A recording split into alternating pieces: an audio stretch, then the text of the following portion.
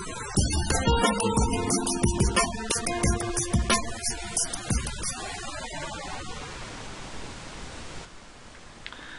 traders, sounds like a simple question doesn't it? What is trading? But I'm going to be answering that question in the room so for all the full members uh, I'll go through that with you. Uh, for those of you who are full members and not in the trading room I am going to go through that at the next traders round table. Critical question, uh, answer that correctly and you will be a much better trader for it and uh, when we discuss the answer to that you'll see what I mean. Uh, I've been talking about uh, changes to membership. Uh, by the way, that the in the in the short to medium term, the cost of membership is not going to change. Uh, so what current changes I've got up coming up for you are I'm going to journal all the trades in the room and the video calls I started doing this in the first few months last year and got lazy about it, so I'm going to make sure I don't, don't fall into that trap again. Um, had some feedback from one or two of you asking for me to mark up the entries when I'm producing a video uh, and, and even in the room when, when we're taking trades, so that's something that I would do. We'll be, uh, I'm, I'm doing a lot of um, promotion work now just to get the members not because I want the uh, Trade the Easy Way to be a, you know, a, huge organisation, I just want it to be more vibrant. So we're going to get an injection of new blood to uh, really boost the, the quality of the room and the quality of the interaction in the Traders Roundtable. Um, next Traders Roundtable I will be launching the um, checklist I've been talking about and distributing that to full members. Uh, going to go through the new and simpler trade setup for the room for Forex and of course the Forex course is going to go into intimate details about uh, how to set that up, how to um, what the rules are, the routine for, tr for tracking this setup. Uh, and for all of you members, we've got uh, I've got some booster webinar, free booster webinars coming up. Going to go over the current best setups. Going to look at uh, pattern recognition, pro trader routines and rules and there'll be others that will uh, follow as well. So that's the changes. Right, onto the charts now. Right, big big day on the markets. Great start to 2012. We gapped up in the Dow futures market and um, stochastics is high so it is something of a reversal bar. Uh, however, I do think this will um, move up. I think if we break 12,430 I think this will continue to the upside.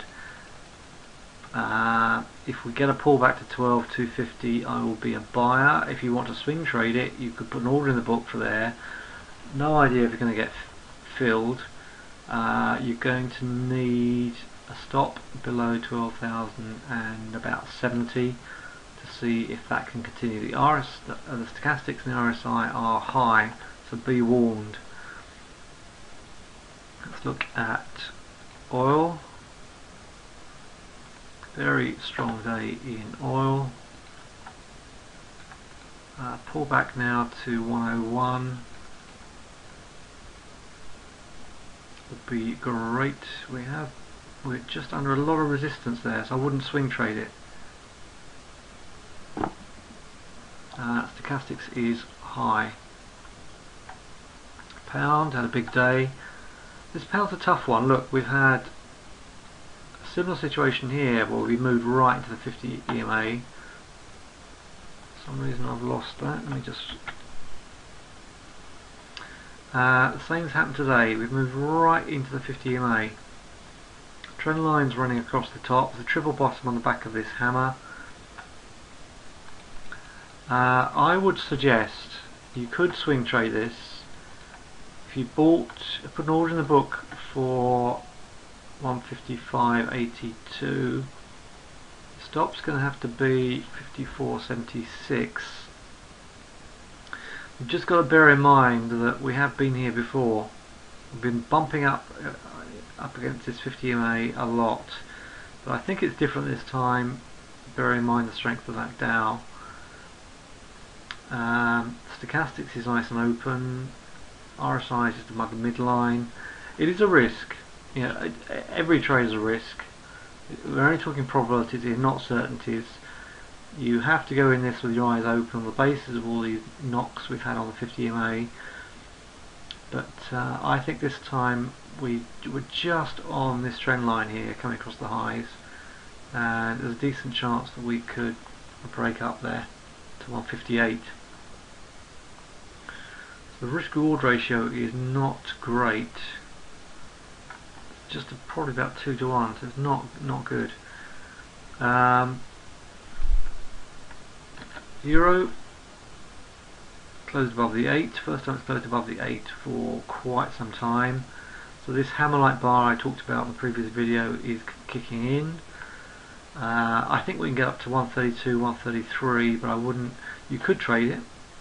If you put an order in the book for uh, just above 130, the stop is going to have to be 100 points to see if you can get uh, 250 points to retest the 50 EMA. Aussie dollar has been storming away. Why does this chart do this? So I've got this one already marked. That's the entry level, uh, which is 1028.10. Stop can be pretty close.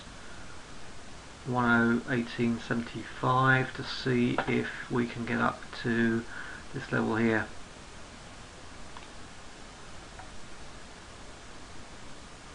Very and that has involved a lot of price action. Okay? If you don't get filled there then leave it. Okay so that's all I've got for you. Look forward to seeing you in the room tomorrow and um, see the next update. Uh, all feedback is extremely welcome and I, in fact I would encourage it.